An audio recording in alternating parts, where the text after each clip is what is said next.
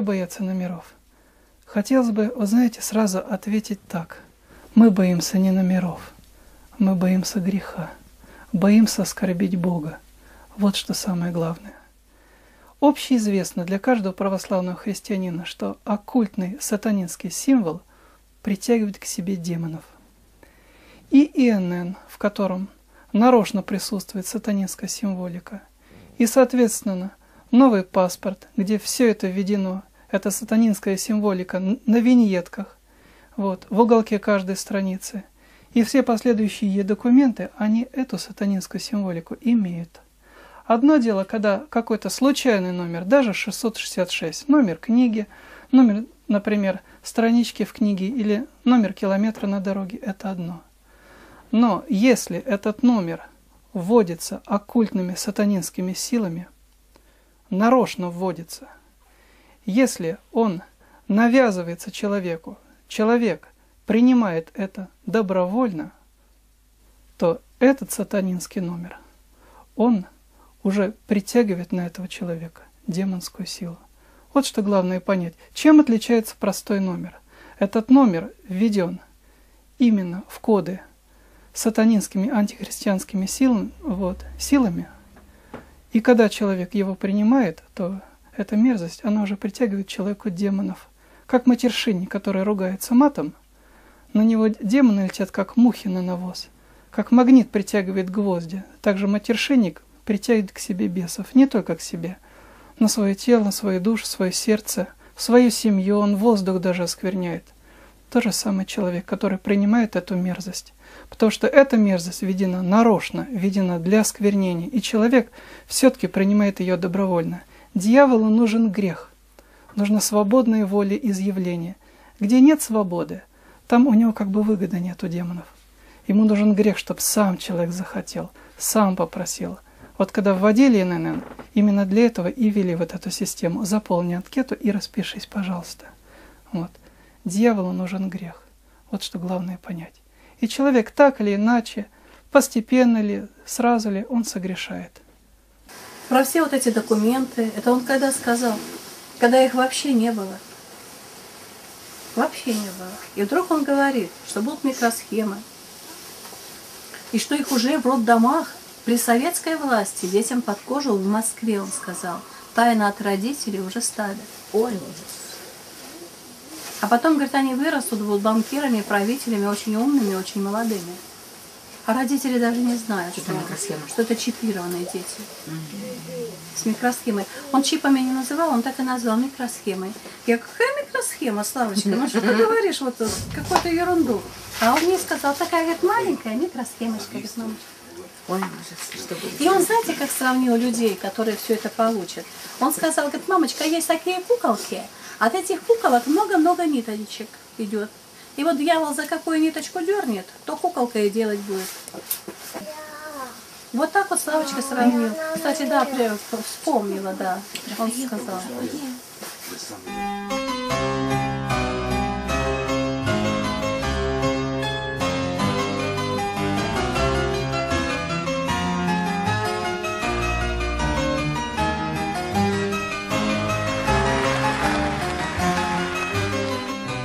То есть это практикуется тайно и давно. А когда будут ставить всем людям, то, как я поняла Славочку, люди перестанут быть людьми. Как он говорил о тех людях, которые примут это? Что они будут злые, они готовы будут разорвать друг друга. Настолько они будут злые. Для них будет уже ничего святого, для них не будет. Для них будет уже все. Потом останется только после этого биочипа поставить печать. Славочка сказал, как будет ставиться печать. Они придумают мировой паспорт, будут давать его всем. Это будет маленькая, серенькая, и Славочка сказал, очень симпатичная пластиночка.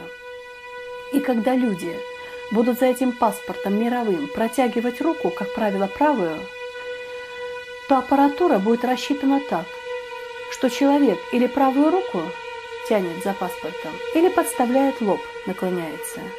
Где как он будет, сказал, где какая обстановка будут выдавать же по всей стране, по всей земле. Вот. И он сказал, что, как правило, на правую руку в области запястья будут ставить три шестерки изотопами, лучами от, от этой аппаратуры или на лоб. И Славочка сказал, принявших печать, вот такую, то есть тянутся они рукой за мировым паспортом, им в это время ставят печать. Три циферки, три маленькие шестерочки. На лоб или на правую руку.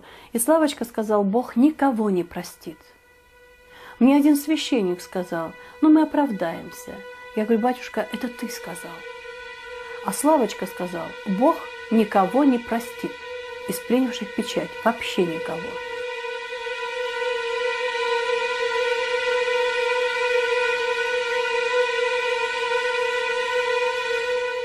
Вот таким вот образом будут поставлены печати.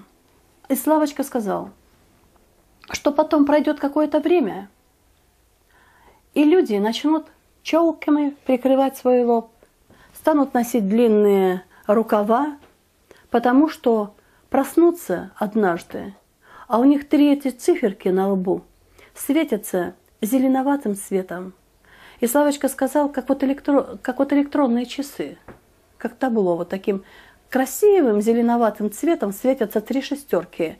И поэтому люди будут прикрывать или челками, или длинной рубашечкой. А потом посмотрят, один открыто несет эту печать, второй открыто носит эту печать и перестанут стесняться.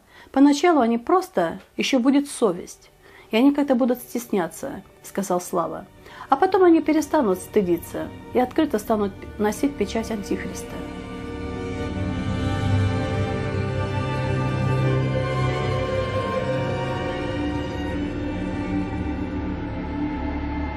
Слово «паспорт» знакомо каждому. Термин «универсальная электронная карта» известен гораздо меньше.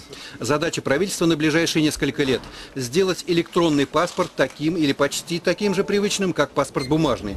Мэр Москвы, дававший пояснение Дмитрию Медведеву на эту тему, мечтает объединить в кусочки пластика с чипом сразу несколько удостоверений.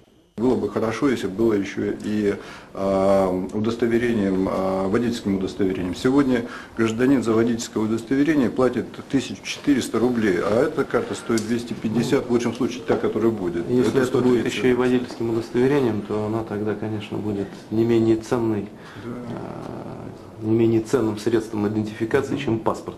Среди приложений универсальной карты, число которых будет только увеличиваться, база данных пенсионного фонда, полис обязательного медицинского страхования, транспортное приложение, позволяющее оплачивать проезд в общественном транспорте или подтверждать право льготников на бесплатный проезд. Сергей Собянин предложил добавить туда же и базу данных по обязательному автострахованию ОСАГО.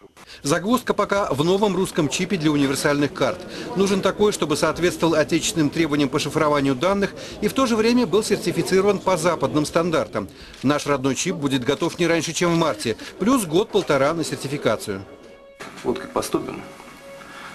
Ждать, пока а, создадут наш чип, не будем. А, потому что иначе его никогда не создадут. Внедряйте с иностранным чипом. Как только будет создан наш чип, проведем а, переинсталляцию этого чипа и выпустим, перевыпустим эти карты, никаких проблем это не создаст.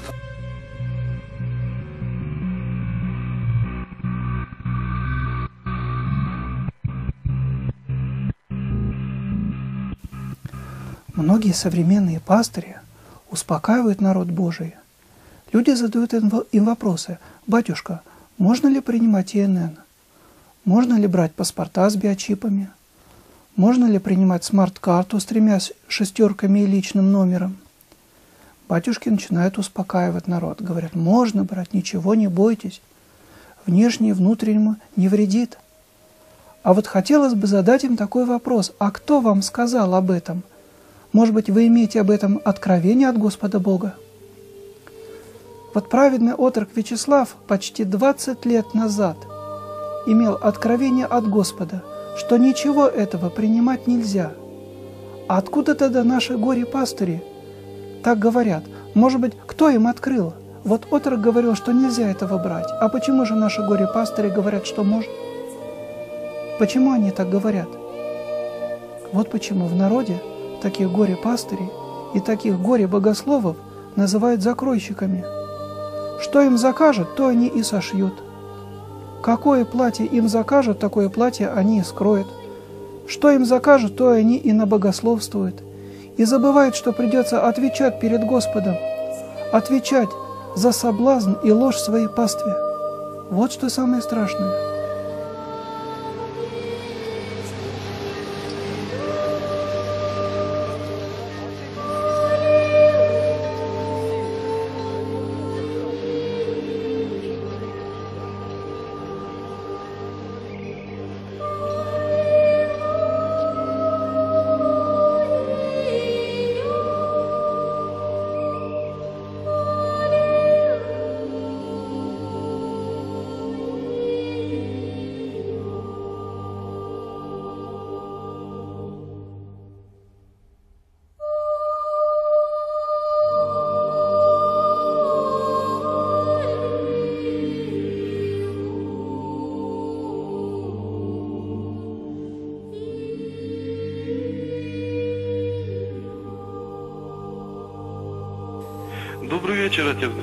Да, слушаю. Это звонит рабожий Сергей с Алматы, Алматинской области.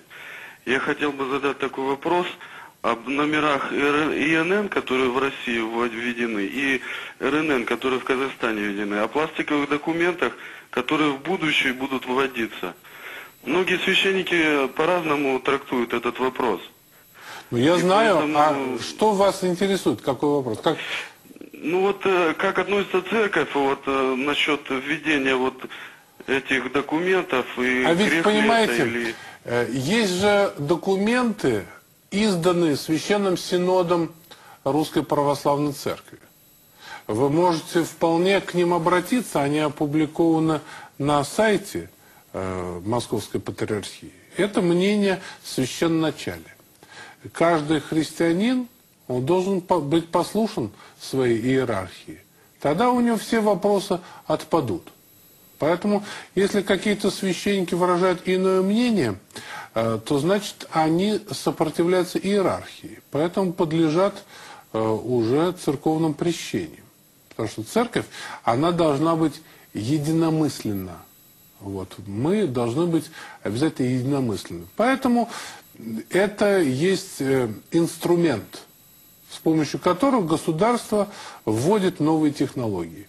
Разумеется, когда придет антихрист, и будет единое государство во всем мире, и это государство будет антихристианское, ну, конечно, антихрист будет использовать новые технологии. Понимаете? И тоже телевидение, которое мы сейчас используем, будет использовать антихрист.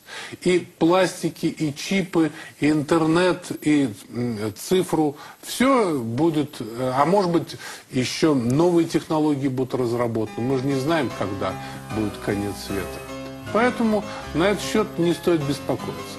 Иерархия на страже.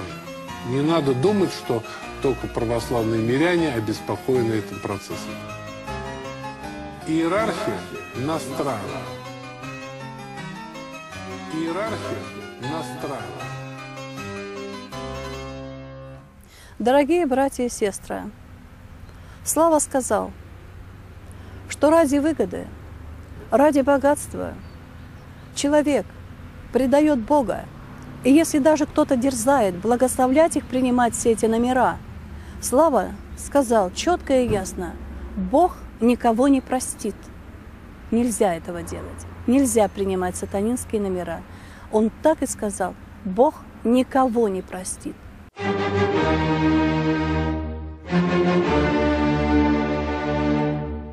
Число 666 – это не просто оккультный символ, он взят из Священного Писания, из Святой Библии. Вот что важно понять. Вот, например, пятиконечная звезда, другие символы. Это символы, которые в разные времена имели разный смысл, их наполняли разными смыслами. Но 666 – это явно сказано в Священном Писании, что это символ противника Бога. Это все читали, все это знают. Уже хотя бы даже это должно вызвать отторжение. Этого быть не должно. Мы боимся не цифр и даже не этого числа. Мы боимся Бога, боимся оскорбить Господа. Оскорбить Господа можно не только душой, но и телом. Всем можно оскорбить. Поэтому мы боимся не номеров, мы боимся согрешить, чтобы не отпасть от Бога.